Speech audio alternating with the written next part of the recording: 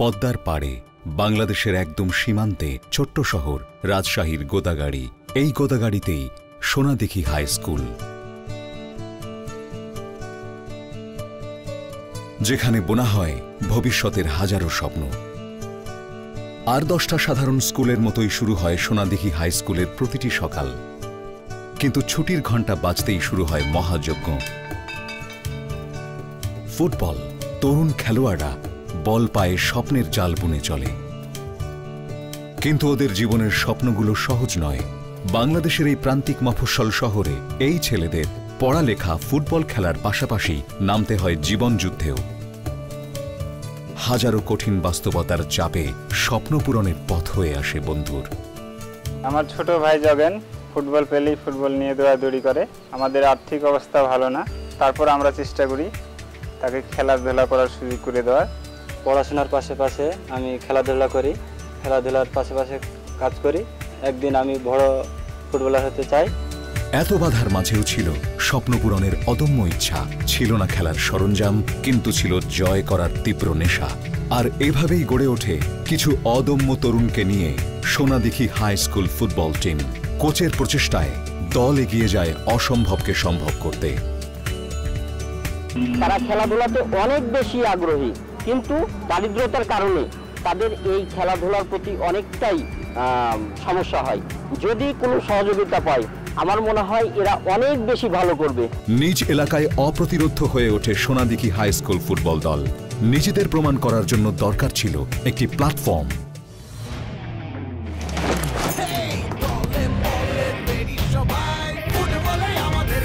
শুরু হচ্ছে Clearmen Bangladesh under seventeen championship registration করো স্কুল টিমের সাথে। বিস্তারিত ক্লিয়ার ফেসবুক পেজ ও পত্রিকায়। এরই মাঝে ক্লিয়ারম্যান দেশের তরুণ ফুটবলারদের বড় আসরে প্রতিযোগিতা করার সুযোগ করে দিতে আয়োজন করে ক্লিয়ারম্যান অনূর্ধ্ব সতেরো ফুটবল চ্যাম্পিয়নশিপ দেশের প্রতিটি অঞ্চল থেকে অংশ নেয় দুশো সত্তরটিরও বেশি দল। স্বপ্নে বুক বাঁধে সোনাদিঘি হাই স্কুলের ছেলেরা। অনেক চান্স তাদের অনেকের সামর্থ্য আছে, আমাদের জুতো নেই প্যান্ট নেই।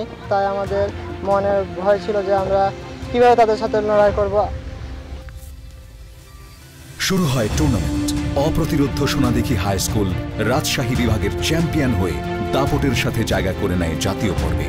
একে একে কোয়ার্টার ফাইনাল সেমিফাইনালের বাধা পেরিয়ে ফাইনালে মুখোমুখি হয়। টুর্নামেন্ট ফেভারিট ঢাকার শাহিন কলেজের হাড্ডাহাড্ডি লড়াইয়ে অতিরিক্ত সময়ে বিপ্লব তির্কি গোল করে ছিনিয়ে নেয় বিজয় মুকুট। সকল বাধা তুচ্ছ করে, প্রতিকূলতাকে জয় করে, সোনাদিঘি হাই স্কুলের অদম্য ছেলেরা আবির্ভূত হয় দেশ সেরা হিসেবে। নয় গোল করে সর্বোচ্চ গোলের স্বীকৃতি হিসেবে গোল্ডেন বুট জেতে ক্যাপ্টেন যোগেন লাখরা আর এভাবেই রচিত হয় সোনাদিঘি হাই স্কুলের বিজয়ী তরুণদের এক অদম্য রূপকথা। কিন্তু এই রূপকথার গল্পের শেষ এখানেই নয়।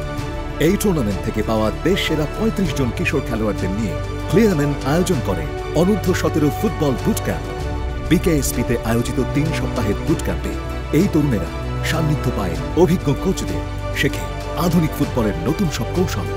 বুট ক্যাম্পেই আরও একবার নিজেকে প্রমাণ করে সোনাদিঘির সেই যোগেন লাকড়া।